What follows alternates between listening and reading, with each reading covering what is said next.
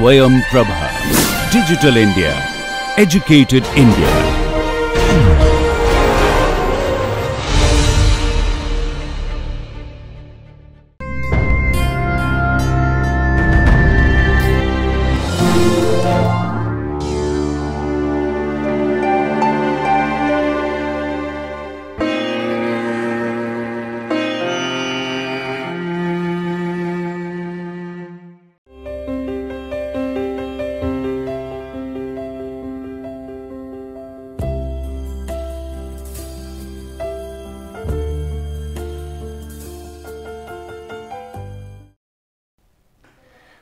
Welcome back. Uh, this is lecture number 57 and uh, today we will be talking about the solutions of uh, homogeneous linear equations or in particular we will be talking about the complementary function that is nothing but the, the general solution of uh, a differential equation, a homogeneous linear differential equation and we will discuss many solution techniques how to find a complementary function.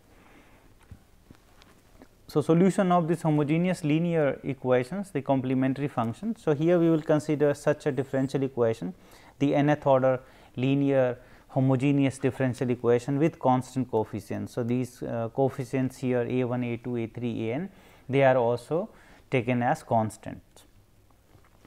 So, what we have also discussed in the last lecture that we can write down this equation in terms of this operator form. So, d power n plus a 1 d n minus 1 and so on is equal to 0.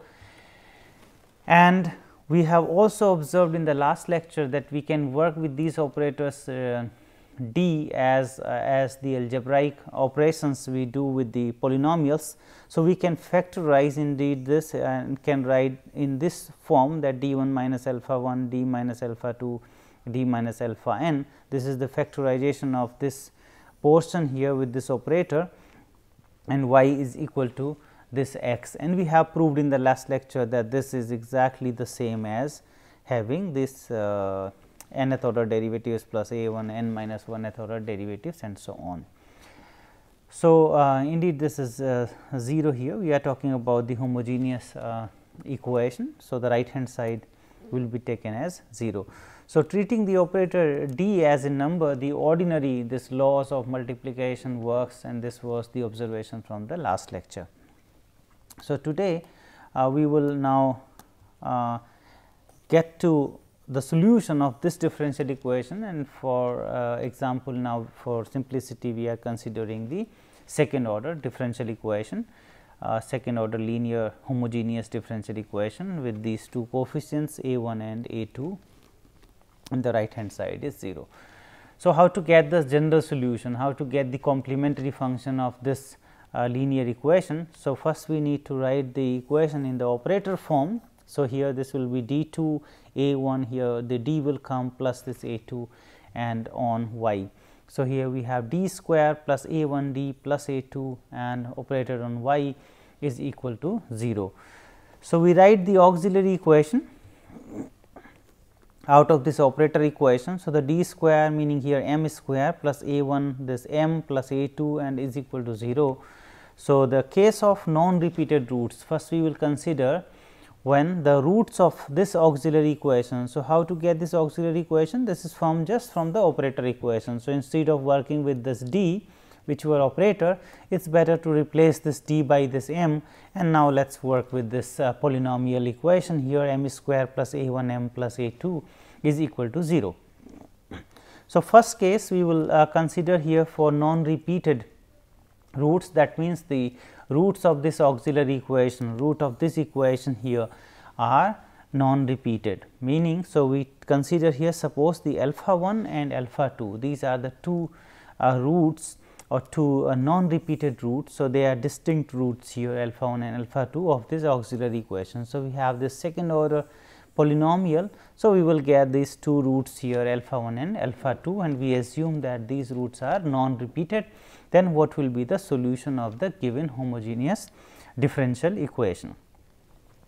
So, we have this equation which we can write down now because we know the, the roots here of this uh, equation alpha 1 alpha 2 meaning we can factorize we can write down this operator equation in this form also d minus alpha 1 and this multiplied by d minus alpha 2 on this y is equal to 0 or this is the observation again from the last lecture that this order here of this product is immaterial. So, we can take this d minus alpha 2 first and then d minus alpha 1 operated on y this is equal to 0.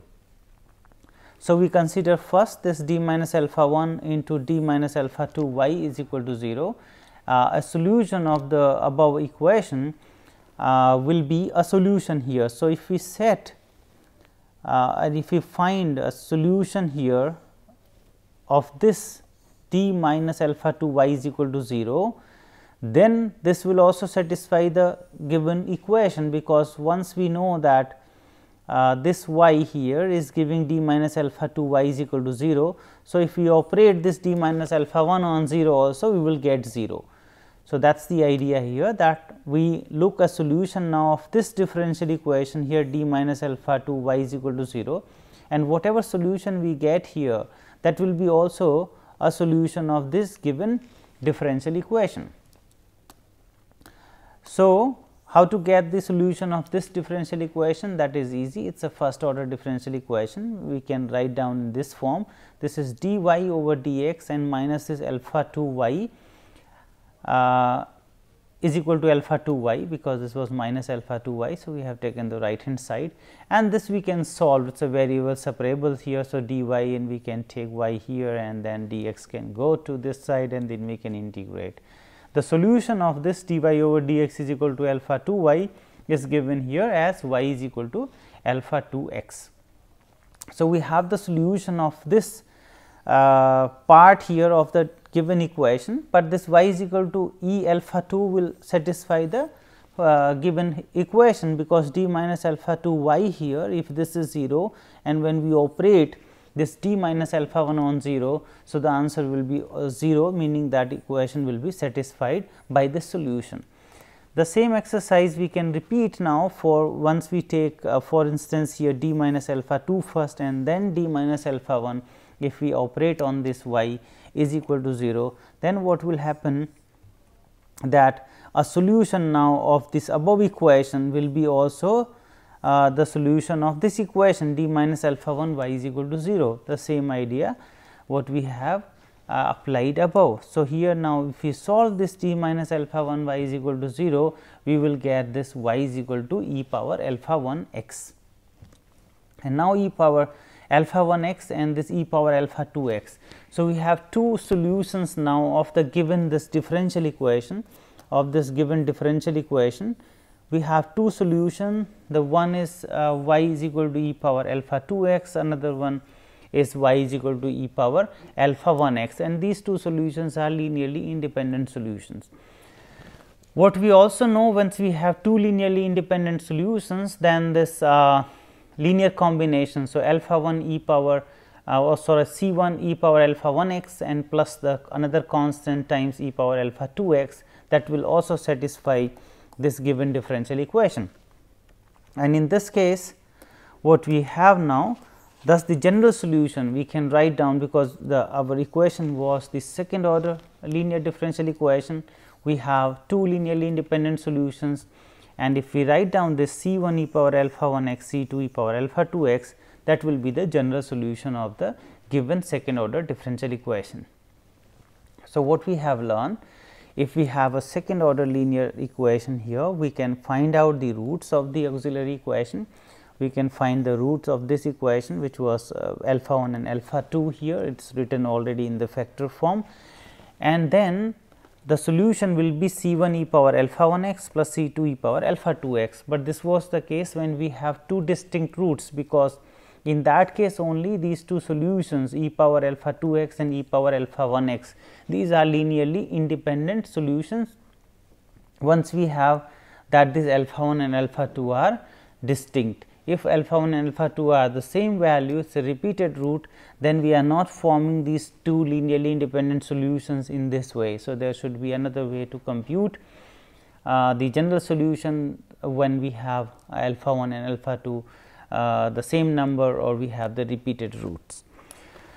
So, first getting back to the distinct roots. So, when we have distinct roots we can also generalize this So, if we have nth order uh, differential equation and if this alpha 1, alpha 2, alpha 3, alpha n are the distinct roots of uh, this uh, so called the auxiliary equation which is coming exactly from this equation replacing the operator d by m. So, if we have these n distinct roots of this equation we can write down uh, the solution as uh, I mean these are the n linearly independent solution e power alpha 1 x, e power alpha 2 x and so on e power alpha n x.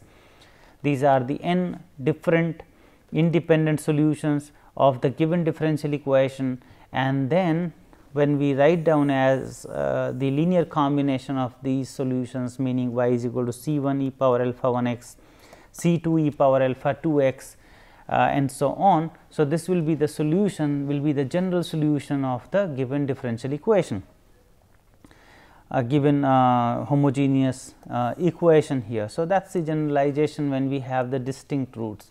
Next we will discuss the case of the repeated roots that what will happen if we have the repeated roots and again we will consider here the case of the second order differential equation. So, in case of the second order differential equation we can write down then we can factorize uh, that differential part here with d minus alpha d minus alpha because we have considered now the same roots here alpha.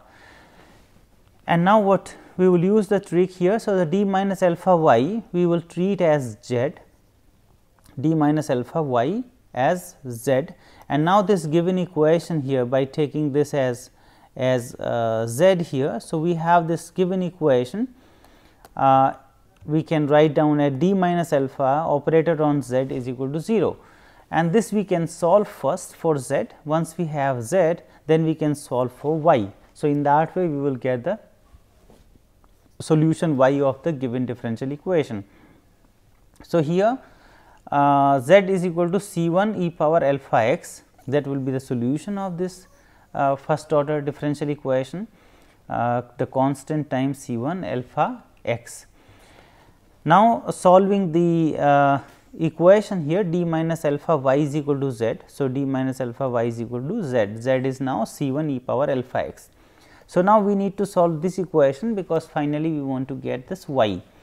This is a linear equation. So, here we have the differential of y. So, this d of y is dy over dx minus this alpha times y is equal to the c 1 e power alpha x. So, this is linear equation in y and the integrating factor which uh, we get here is the e power minus this alpha times x. So, the solution of this differential equation here will be because it is a linear equation we have already discussed in the last lecture. So, y into this integrating factor e power alpha x the right hand side here over the integral c 1 e power alpha x multiplied by the integrating factor which is here e power minus alpha x and this d x plus c 2. So, uh, this will be the solution here for this given differential equation this linear differential equation. So, e power alpha x will cancel out with this e power minus alpha x and we have c 1 when we integrate we will get x there. So, y is equal to c 1 x plus c 2 uh, times this e power alpha x and the generalization of this we can also get when uh, suppose we have this alpha as a repeated r times. So, the alpha root is repeated r times when we have a general n and nth order equation. So, we will get n uh, roots. So, some of them may be repeated. So, here we assume that we have this alpha root r times repeated. So, here this for example, in the second order equation we have discussed this alpha was repeated 2 times. So, what we get here when alpha was repeated 2 times we got this factor e power alpha x like the earlier distinct case also we were getting e power alpha 1 x e power alpha 2 x. So, e power alpha x we got and then these constants the two constants are are, are given by this relation. So, c 1 x plus c 2. Now, if this uh, root is repeated r times then what will be the solution is exactly will follow from here. We will have c 1 x power r minus 1 this was 2 times repeated. So, we got this linear term here if we have r times repeated root we will get r minus 1th uh, polynomial here plus C 2 x r minus 2 and so on plus this C r and e power alpha x. So, if alpha is uh, alpha root is repeated r times then we will get the solution in this form. Case of the imaginary root. So, we have discussed already the real roots, the real distinct and also uh, real repeated. So, in the case of the imaginary root, we have the same idea. So, we assume uh, that alpha plus i beta and this alpha minus i beta is the uh, is the roots here are the roots of the given uh, auxiliary equations. So, or two conjugate roots and then the solution it is exactly followed from the case 1 when we discuss the uh, distinct uh, roots and here these roots are distinct they are not the same root. So, we have written exactly our solution in that form some constant here C 1 and exponential the first root alpha plus i beta x plus C 2 another constant e power alpha minus i beta x. Because the case 1 which we have discussed for the distinct roots we have not assumed them uh, whether they are real distinct or the imaginary uh, distinct roots. So, uh, exactly we can use that idea here to get uh, the solution these two independent solutions that e power alpha plus i beta x and e power uh, alpha minus i beta x two two linearly independent solutions and with these uh, constants there the linear combination will be also the solution or the general solution. But what we do because this is not common to write down in terms of these uh, uh, conjugates or in terms of these imaginary roots what we, we simplify further here. So, e power alpha x and e power alpha x we have the common term in both. So, what we will do now, so e power alpha x and this e power alpha x we can take this common and what is there now? The C 1 e power i beta x plus this C 2 e power minus i beta times x. And then this exponential with this i beta x or exponential with this minus i beta x we can also expand it in this form that this cos beta x plus this i sin beta x. And the for C 2 also we can have this cos beta x plus uh, this i times uh, sin beta x that is the we can expand this e power uh, i beta x here in terms of the cos and sine and here also e power minus i beta x in terms of cos and sine. So, now what we will do here y is equal to e power alpha x the same and here this cos beta x here also we have cos beta x. So, these constants here C 1 and the C 2 bar we have combined it and then with the sin beta x also we have this uh, i terms with the C 1 bar minus this uh, C 2 bar. So, we have now these two new constants C 1 bar plus C 2 bar and also the i times C 1 bar minus uh, C 2 bar. And here the y is equal to e power this alpha x. And we have now renamed these coefficients here C 1 plus C 2 bar as C 1 and here C 1 minus the C 2 with the i itself so, the another name we have given as C 2 because these two are the arbitrary constants now. So, we will write down the solution when we have uh, two uh, roots here the conjugate roots as a complex number. We will write down the solution of our homogeneous equation as e power alpha x c 1 cos beta x and uh, c 2 sin beta x when our roots are alpha plus minus i beta type. So, this alpha will go to the exponential part here and this beta will be with the cos and the sine term. Next we will consider now the, the generalization of this one that when we have a, uh, like alpha plus i beta alpha minus i beta are the conjugate the imaginary roots and they are repeated uh, r times in that case what would be the solution. So, uh, these conjugates are repeated r times now.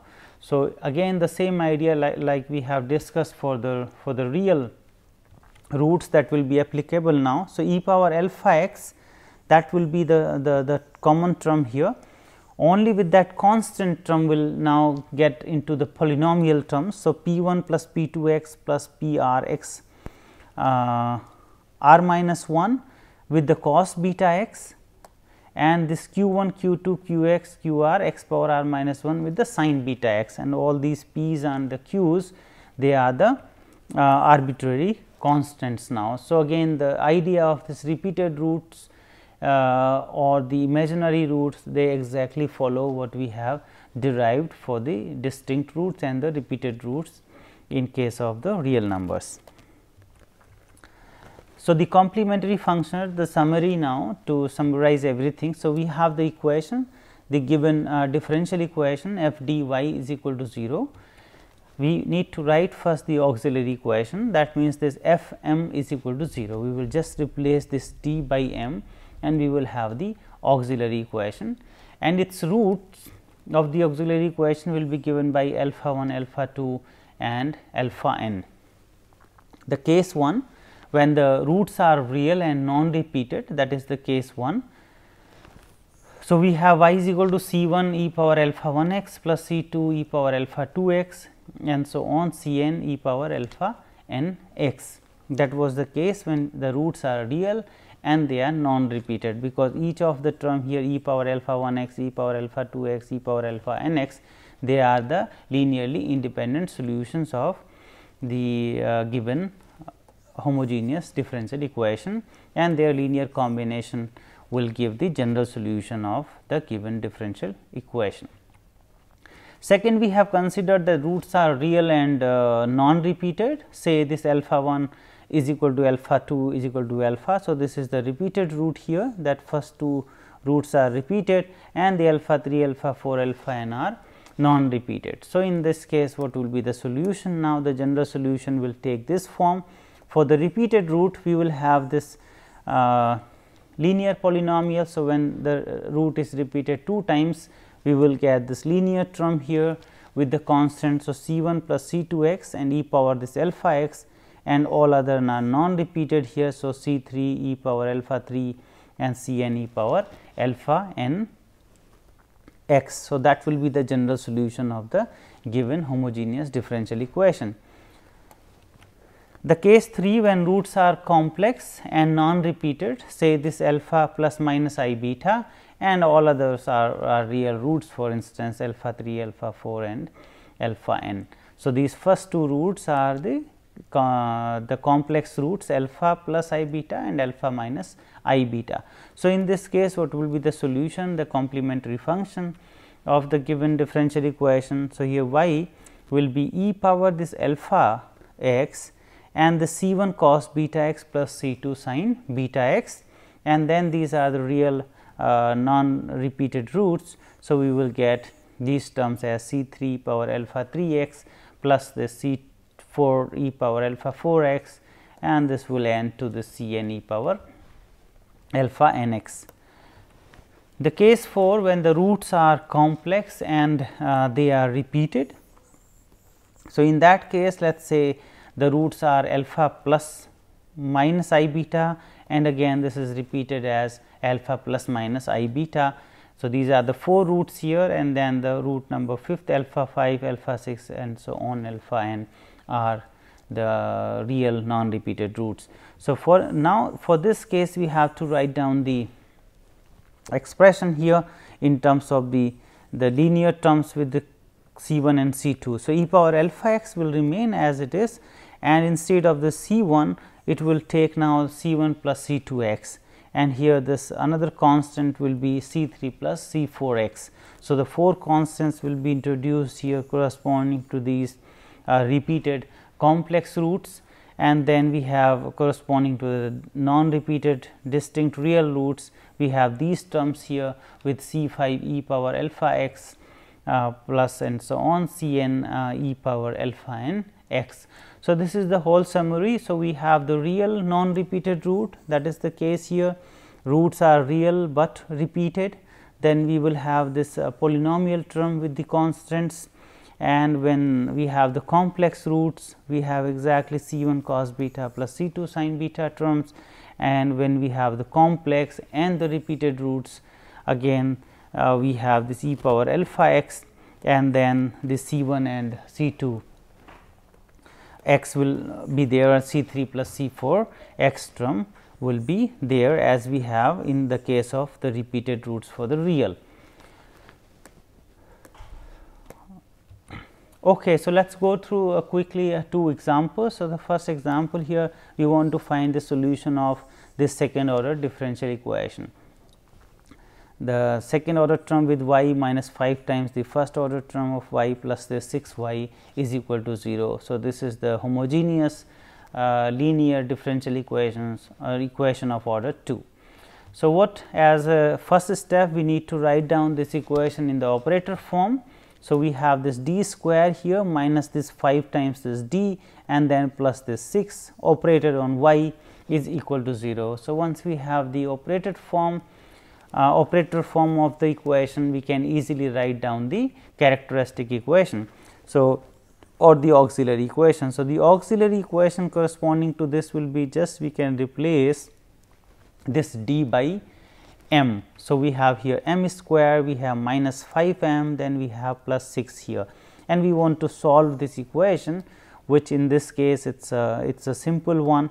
So, we have here m square minus 5 m plus 6. So, that means this m square and uh, will be minus 3 m plus minus 2 m and plus 6. So, this minus 5 m we have written as minus 3 m and minus 2 m so, this will give now m into m minus 3 and minus 2 this m minus 3. So, we will get these factors as m minus 2 and m minus 3 is equal to 0. So, we got the solution here m is equal to 2 and m is equal to 3.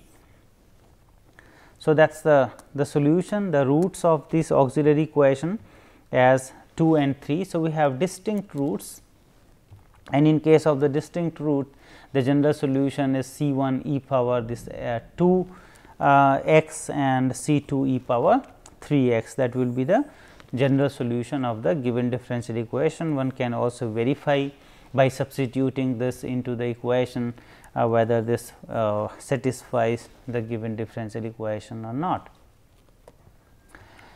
So, the example 2 we will take this fourth order uh, linear differential equation. So, again the corresponding to this differential equation we can write down uh, in operator form.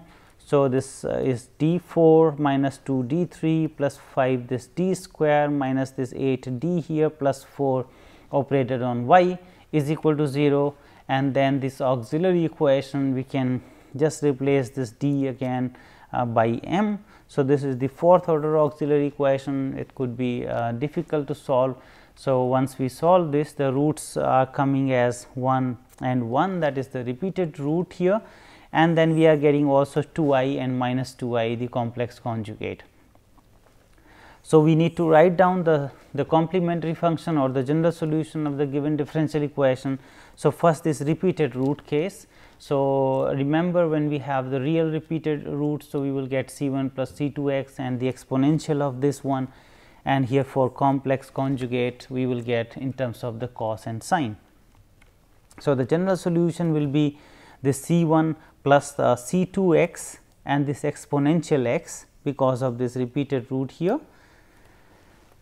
Because of this repeated root we are getting these two terms and then for uh, plus minus this 2 i uh, 0 plus minus 2 i that is the another root where we are getting this e power the 0 x. So, alpha times this x and then we will get the C 1 I mean the constant which is C 3 here because C 1 C 2 are already appeared. So, C 3 and then we will get this cos the 2 x plus the C 4 and we will get sine 2 x. So, here e power 0 x is 1. So, we are getting this uh, term only that C 3 cos 2 x and C 4 sin 2 x. So, we have the solution now in this case when uh, the equation was the fourth order equation and uh, we will have these four constants in the general solution. So, coming to the conclusion uh, we have today discussed the solution of the homogeneous linear differential equation of this type f d y is equal to 0. This is just for the operator a differential operator we have denoted by this f d and the complementary function which we call as the solution the general solution of this differential equation we call as complementary function. So, the, the crucial part was that first we write down the auxiliary equation and find uh, its roots.